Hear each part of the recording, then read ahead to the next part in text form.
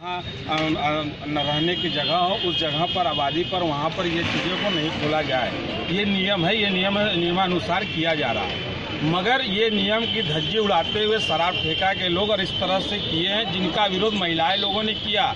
उनके समर्थन में आज शिवसेना उतरी है और डीएम महोदय को समझाने के लिए भी कही है कि ये जो चीज़ किया जा रहा है ये गलत है, जो अबकारी ने ठेकेदार, जो शराब के ठेकेदार, जो गलत तरीके से विद्यालय, मंदिर इस सब जगह पर जो किया गया, वो गलत है।